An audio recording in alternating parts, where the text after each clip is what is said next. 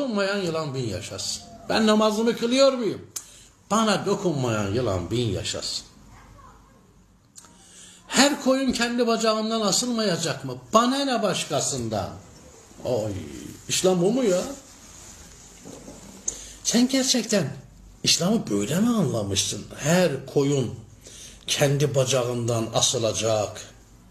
Bana dokunmayan yılan bin yaşasın. Böyle midir gerçekten? Sen haberin var mı? Her koyun kendi bacağından asılacak. Bana dokunmayan yılan bin yaşasın.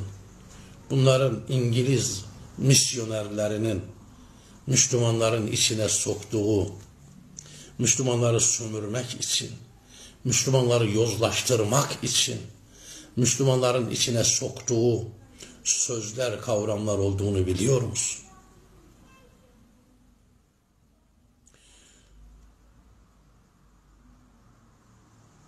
...80'li 90'lı yıllarda...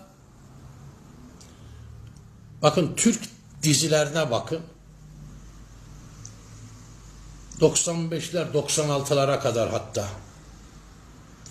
Yabancı sinemalara bugün bakın. 80'li 90'lı yıllarda köyün en üç kağıtçı adamı köyün imamıydı.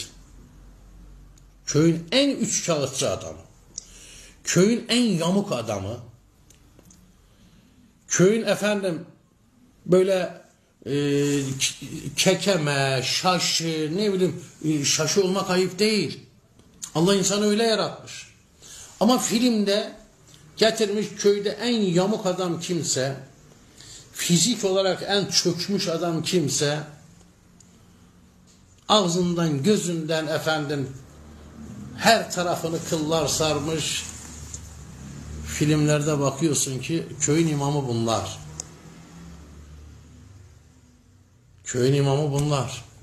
Köyün sahtekar adamı. Ben o filmleri çevirenlerin adını söylemek istemiyorum burada. O günlerde, o yıllarda ve bugün Avrupa'nın çevirdiği sinemalara bakın, yaptığı filmlere bakın. Kilisenin papazı, sinagogun bakın din adamı, toplumun en saygın insanı, en beyefendi, en kibar, en düzgün, kılık kıyafeti yerinde. Düşman işte bu şekilde Müslümanı yozlaştırmak için oyunlar tezgahlıyor. Bana dokunmayan yılan bir yaşar, bin yaşasın. Ya senin peygamberin diyor bu söz batıldır. Senin peygamberin diyor ki dünyanın öteki ucunda bir Müslümana zulmediliyor. Ve o Müslüman ya lel muslimin ey Müslümanlar diyerek feryat ediyor. Müslümanları imdada çağırıyor ise bunu duyan Müslümanlardan kim bu feryada duyarsız kalır ise feleyse bir Müslümin duyarsız kalan Müslümanlardan değildir. Hani bana dokunmayan yılan bin yaşasındı. Bana dokunmayan yılan bin yaşasın. Daha hani nerede kaldı? Senin peygamberin diyor dünyanın öteki ucunda bir Müslümana dokunuyorlarsa sen de sessiz kalıyorsan sen Müslüman değilsin. Her koyun kendi bacağından asılır. Ya kıyamet için bu söz geçerli. Tabii ki kıyamette herkes kendi hesabıyla muhatap olacak. Kendi ameliyle muhatap olacak. Herkes. Bu dünya için böyle midir?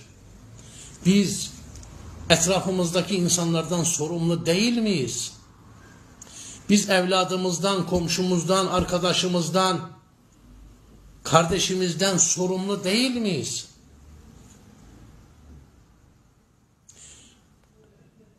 Efendim bana ne ondan, o kendi bacağından asılacak, ben kendi bacağımdan asılacağım deyip banana ile geçiştirebilir miyiz bu meseleleri? Nerede kaldı efendim kuntum hayra ummetin te'muruna bil ma'ruf ve tenhavna anil munker. Siz hayırlı bir ümmetsiniz. Çünkü e, iyiye davet eder, kötüden men edersiniz. Nereye bırakacağız bu ayeti bu sözde atasözü ile? Ya bizim atalarımızın böyle sözleri yok. Bizim atalarımız her koyun kendi bacağından asılır diye bir söz söylememiş. Bizim atalarımız bana dokunmayan yılan bin yaşasın sözünü söylememiş. Bu İngilizlerin misyonerlerinin sözleridir.